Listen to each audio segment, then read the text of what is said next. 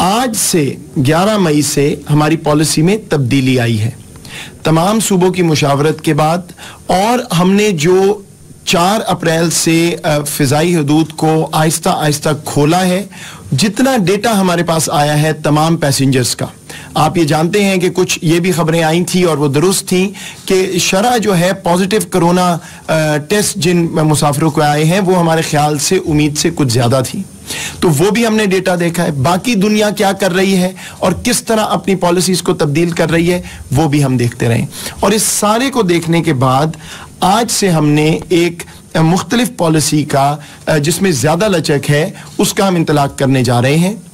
और उसके मुताबिक अभी तक हम अपने जो पाकिस्तानी बाहर से आते थे, उनको हम करंतना में लेके जाते थे।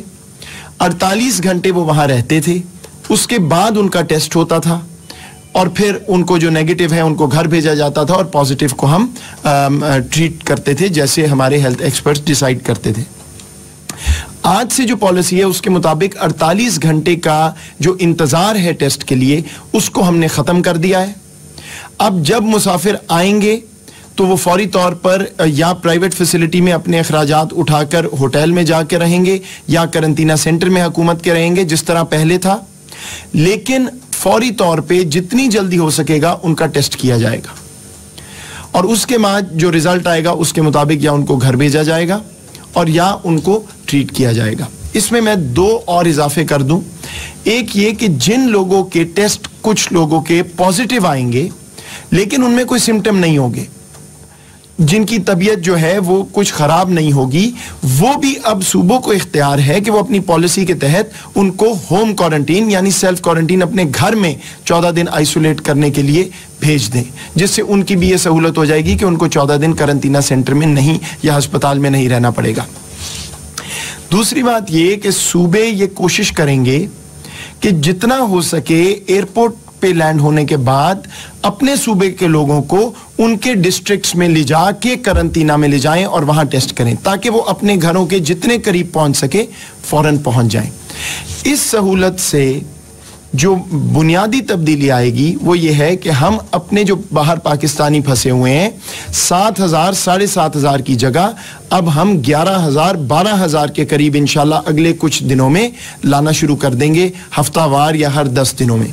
तो इस तब्दीली से जो पाकिस्तानी अभी बाहर हैं, ईद से पहले जितने ज़्यादा पाकिस्तानी हम ला सकेंगे, यही हमारा हदफ था, यही वज़ी अजम साहब की हिदायत थी, और वही हम उस पॉलिसी पे अब चल रहे हैं। एक बात इसमें और मैं वाजे करना चाहूँगा कि जब हम इस पॉलिसी पे जा रहे हैं तो एक तो हमारी टेस्टिंग पे बहुत लोड आएगा। हमारी जो लेबोरेटरीज हैं, वो टेस्ट कर रही हैं। जितनी जल्दी हो सकेगा, वो टेस्ट करेंगे। सूबों को ये हिदायत कर दी गई है कि पूरी कोशिश करें कि 24 घंटे के अंदर अंदर टेस्ट हो और जितनी जल्दी हो रिज़ल्ट आए। लेकिन मैं ये भी इल्तिजा करूँगा, रिक्वेस्ट करूँगा उन पाकिस्तानियों से जो वापस आ रहे हैं कि ऐसे सिचुएशन में ये हमारे लिए मुमकिन नहीं है कि हम मुकम्मल आपको गारंटी कर दें कि इतने घंटे बाद टेस्ट और इतने घंटे बाद आप घर आप घर जा सकेंगे। हिदायत बिल्कुल वाजे है, लेकिन इसमें थोड़ा बहुत उतार चढ़ाव होता रहेगा। 24 नहीं तो कभी 36 घंटे लग सकते हैं, लेकिन बहरहाल अब हिदायत वाजे है पॉलिसी वाजे है कि जितनी जल्दी हो सकेगा टेस्ट होगा। नेगेटिव तो घर जाएँगे ही, अपने 14 दिन का करंतना पूरा करने, लेकिन कुछ पॉजिटिव जो आएँगे कोरोना के टेस्ट उनको भी, अगर हमारी हेल्थ एक्सपर्ट्स ये समझते हैं सूबों के, कि वो अपने घर में जाके करंतना महफूज तरीके से कर सकते हैं अपने आप को तो उनको इजाज़त होगी। जो नहीं कर सकेंगे या नहीं करना चाहेंगे, उनको हुकूमत अपनी फैसिलिटी देगी, जिस तरह हम पहले कर रहे हैं। ताकि जो बुनियादी मकसद है, बुनियादी हिदायत है वजी अजम साहब की, और इस तमाम गुफ्तु का मैं वाजे कर दूँ, महवर, वो पाकिस्तानी है जो इस वक्त बाहर फंसा हुआ है, और वो शहरी है जो अपने मुल्क वापस आना चाहता है, जो उसका हक है और हमारी ज़िम्मेदारी है। और इस, और इसलिए हम ये पूरी कोशिश करके एक नई पॉलिसी लाए हैं, जिसमें फिर भी मुकम्मल हिफाजत से लोग अपने घर जाएँगे। ये पूरा डेटा देख के इंटरनेशनल प्रैक्टिस देख के फैसला किया गया है। ये कोई ऐसी लचक नहीं है जिससे खुदा ना खास्ता कोई वबा के फैलने का जो डर है, वो बढ़ेगा। मैं आपको कुछ आदाद शुमार भी दे दूँ कि इस वक्त लगभग बीस हज़ार के करीब लोग हम वापस ला चुके हैं, लेकिन कुछ एक लाख दस हज़ार के करीब और पाकिस्तानी अभी वापस आने के ख्वाहिशमंद हैं और ये नंबर बदस्तूर बढ़ रहा है। तो हम इसलिए जितनी जल्दी हो सके अब इस नई पॉलिसी के तहत, जैसे मैंने आपको कहा, ग्यारह बारह हज़ार के करीब कोशिश करेंगे कि हर हफ़्ते, अगले हफ़्ते से पाकिस्तानी वापस आ सके। ये जो अगला हफ़्ता आ रहा है 21 मई तक आज से लेके हम इंशाल्लाह लगभग दस हज़ार सात सौ दस पाकिस्तानी ला, लाने का इरादा रखते हैं। बाईस ममालिक से ये पाकिस्तानी वापस आएँगे।